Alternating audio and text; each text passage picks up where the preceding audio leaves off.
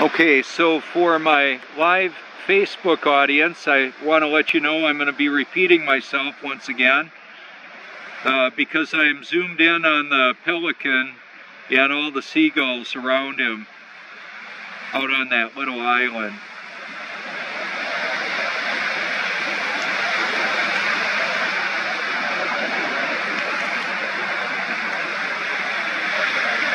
What's interesting about the view is the water.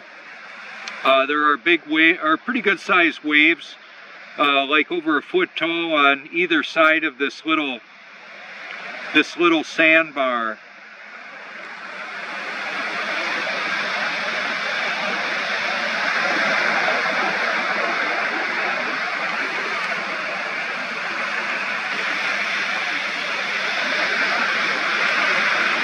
As, uh, as the temperature increases and the sun moves closer to us, the, uh, the fog is going away, lessening a bit.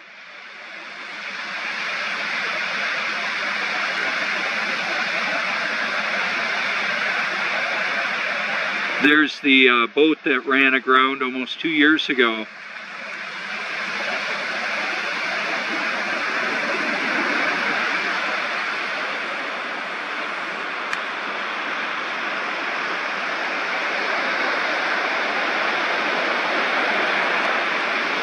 So at this point, what I'm going to do is uh, I'm going to go ahead and leave the live broadcast go for a while and I'll just highlight some things with uh, the P1000 and I'm not necessarily going to comment on it all. Uh, I'll leave this this segment just uh, to enjoy some of the beauty of what this is without me talking about every little detail of it.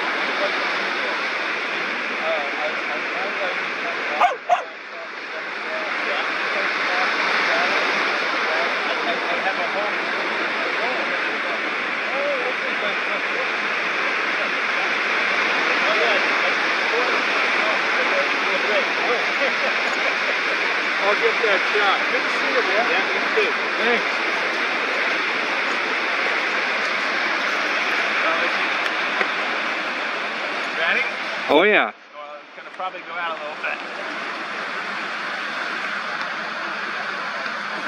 I can get more water, but I, I, I know exactly what you're you're saying. That water spraying off of there is pretty cool. Oh yeah. Come here, Brooke.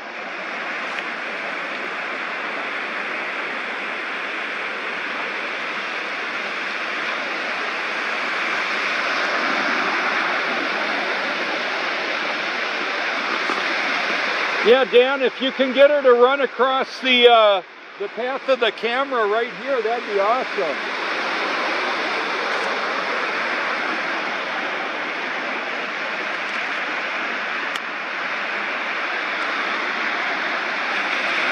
Like right in front of me there.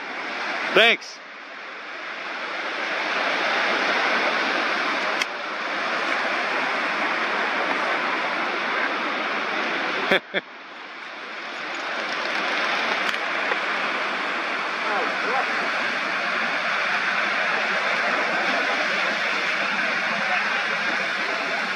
Thanks, Dan.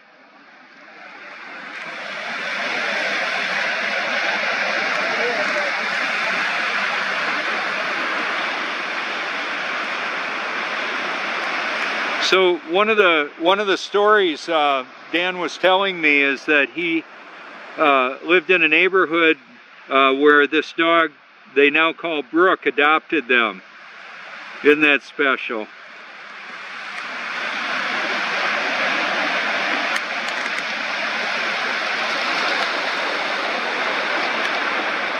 Good girl. Good girl.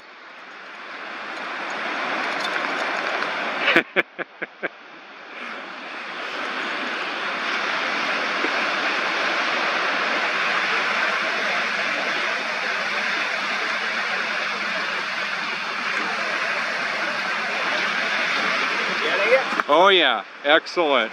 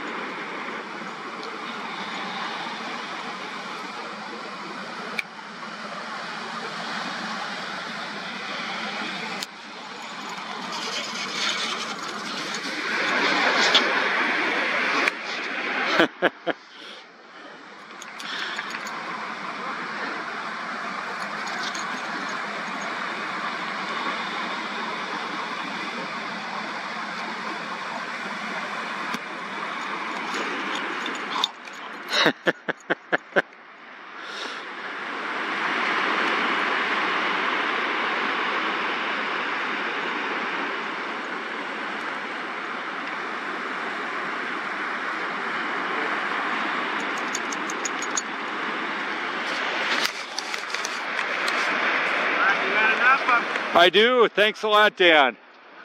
Good girl, Brooke.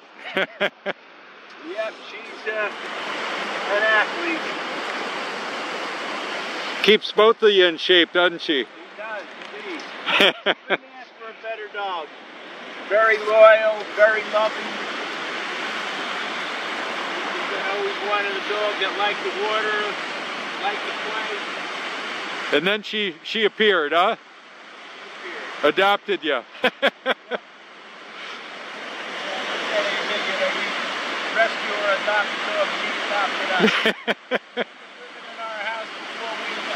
Oh, that's adorable.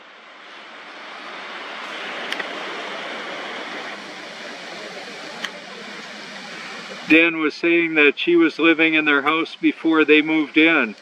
Uh, evidently, a new house, new uh, new development.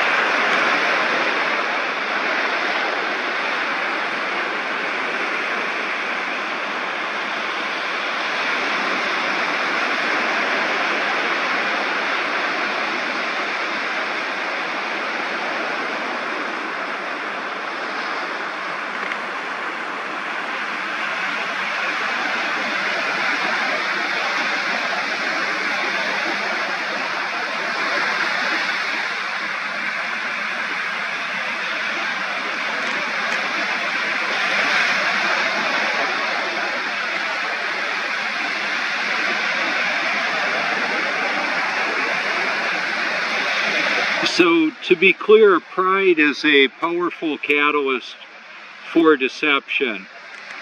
There will be people that will say, I don't understand the basic physics of water or gravity. And I would say, well, I do. It's uh, there's reality, and then there's a very clever deception enslaving humanity with a false perception of what's going on.